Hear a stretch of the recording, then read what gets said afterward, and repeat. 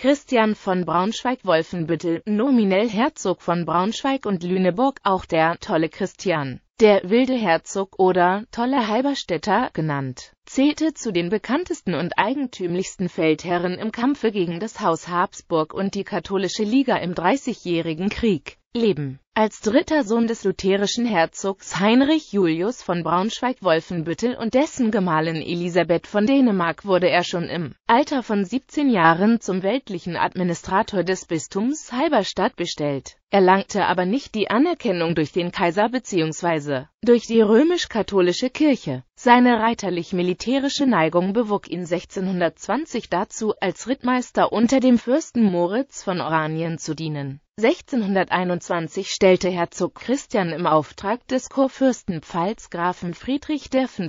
von der Pfalz des vertriebenen und geächteten Winterkönigs von Böhmen ein Söldnerheer von etwa 10.000 Mann auf, dessen Unterhalt jedoch nicht gewährleistet war. Zum Vorbild nahm er sich dabei den Grafen Ernst von Mansfeld, der seit mehreren Monaten in der Oberpfalz das Gleiche tat und damit ebenfalls gegen geltendes Reichsrecht verstieß Herzog Christian plünderte mit seinen Truppen die Stifte Paderborn und Münster, wobei er sein Hauptquartier im befestigten Lippstadt errichtete. Von den Städten, die er nicht heimsuchte, forderte er Kontributionen, also Beiträge zum Unterhalt seines Heeres, so z. B. dem Pfaffenfeind Taler, Obrigkeiten, Städte und Dörfer, die sich auf seiner Route befanden, setzte er mit Drohbriefen über seine baldige Ankunft in Kenntnis. Diese Briefe waren an allen vier Ecken angesenkt, auch mit Drohungen wie Blut, Blut versehen. Solche Methoden dienten zunächst der Einschüchterung, um den Unterhalt seines Söldnerheeres sicherzustellen. Manche, wie die Städte Soest und Werl, zogen daher Zwangsbeiträge der Plünderung vor Geseke war die einzige Stadt, die er nicht erobern konnte, weshalb dort noch heute jedes Jahr die sogenannte Lobetagsprozession stattfindet. In Paderborn raubte er den Schrein des heiligen Liborius mit den Reliquien und ließ aus dem Gold dieser Kirchenschätze den Christiansdaler prägen. Eine Münze mit seinem Porträt und der Umschrift Gottes Freund, der Pfaffenfeind ein erster Versuch zum Main und weiter in die Rheinpfalz zu ziehen, wurde von bayerisch-ligistischen Truppen unter Graf Anhold abgewehrt. Im Kampf um die Rheinpfalz musste Herzog Christian sich den Übergang über den Main am 20. Juni 1622 in der Schlacht bei Höchst gegen die weit überlegenen Kräfte Tillys und Cordobas erkämpfen, was ihm unter hohen Verlusten gelang. Der Rest seines Söldnerheeres konnte er kurz darauf mit dem Heer des erfahrenen Söldnergenerals Ernst von Mansfeld vereinigen. Nach ihrem Ausscheiden aus Kurpfälzer Diensten unternahmen Mansfeld und Braunschweig einen gemeinsamen Feldzug um die Belagerung des niederländischen Bergen-op-Zoom durch den spanischen General Spinola zu beenden. Auf dem Wege von der Maas durch die südlichen Niederlande stießen sie am 29. August bei Flores auf ein spanisches Heer unter Gonzalo Fernández de Córdoba, der sie jedoch nicht am Weiterzuge nach Norden hindern konnte. Es gelang den beiden Söldnerführern sich mit den Resten ihrer Truppen zum Fürsten Moritz von Oranien durchzukämpfen und ihm schließlich bei der Befreiung des belagerten Bergen-op-Zoom zu helfen.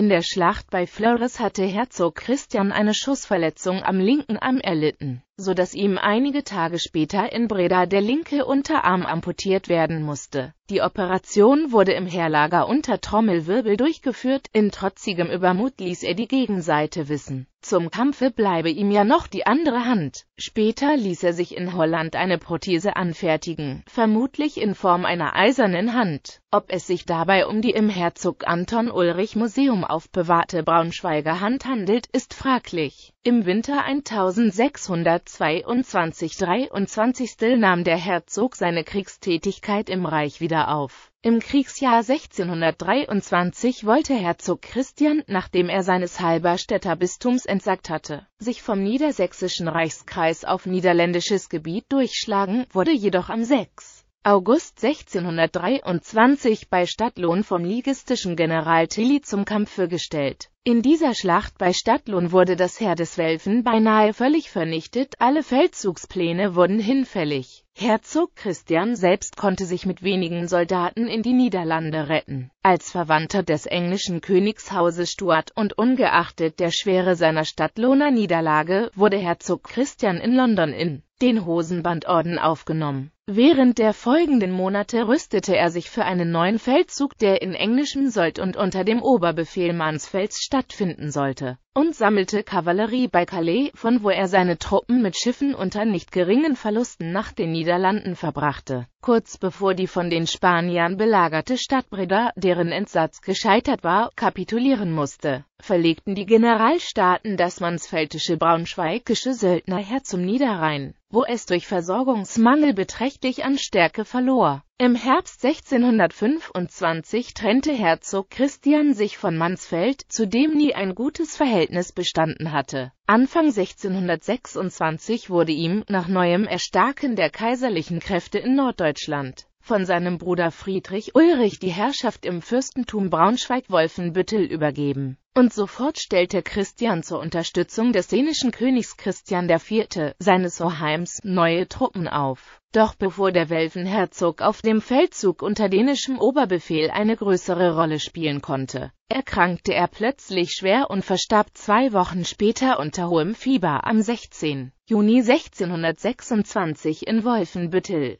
Bedeutung Herzog Christian, der schon mit 22 Jahren Soldtruppen in Heeresstärke befehligte, war bei aller Begabung nicht der erfolgreiche Feldherr, den seine Auftraggeber sich gewünscht hatten. In Anbetracht seiner Jugend mag er als militärisches Naturtalent angesehen werden, als Reiterführer in der Schlacht zeigte er Entschlossenheit und Mut bis zur Verwegenheit. Wirtschafts-, sozial- und militärhistorisch gehört er zur Kategorie der privaten Kriegsunternehmer, in seinem Falle reichsfürstlicher Abstammung, die anderen Fürsten umfangreiche Kriegsdienste leisteten. Seine Persönlichkeit jedoch war nicht ausgereift, ohne konsequente Erziehung aufgewachsen, aber dennoch in klassischen Künsten ausgebildet, war er ein unbeherrschter junger Mann dem Kriegshandwerk zugetan und leidenschaftlich in seiner Opposition gegen alles Kaiserliche. Berüchtigt ist seine Landauer Tischrede, in der ein angetrunkener Herzog Christian sich in Anwesenheit seines Dienstherrn, des Pfalzgrafen Winterkönigs, in Ausfälligkeiten erging, besonders über dessen Schwiegervater, König Jakob I. von England. Die Zeitgenossen gaben dem jungen Welfenherzog bereits 1622 den Beinamen »Toller Halberstädter«, was aber keineswegs nur bewundernd, sondern vielmehr als der verrückte, wild gewordene, aber auch im Sinne der damaligen militärischen Operationsweise als der tollkühne, unorthodoxe Administrator von Halberstadt zu verstehen ist dass er schon mit 27 Jahren starb, ist neben der Todeskrankheit auf seine aufreibende Lebensführung zurückzuführen. Zwar zählte er nicht zu den erfolgreichsten Feldherren des Dreißigjährigen Krieges, aber er ragte zweifellos durch seinen Charakter heraus. Sein wichtigster Beweggrund, den Pfalzgrafen Winterkönig Friedrich V. zu unterstützen, war seine innige Verehrung für dessen Gemahlin Elisabeth Stuart, übrigens eine Cousine des Welfen. Seinen Truppen gab er Fahnen U.A. mit der Devise Pour Dieu Puel, als ob seine verheerenden Kriegszüge einen ritterlichen Minnedienst darstellen sollten Manche Autoren liefern zudem das Bild eines den Handschuh seiner Cousine Elisabeth als Hemdzier tragenden Herzog Christian. Belegt ist dies jedoch nicht. In den Jahren 1834 bis 1838 verarbeitete die Dichterin Annette von Droste-Hülshoff die Niederlage des Christian von Braunschweig in dem Versepos Die Schlacht im Löhnerbruch 1623, das sie in ihrer Sammlung Gedichte 1838 veröffentlichte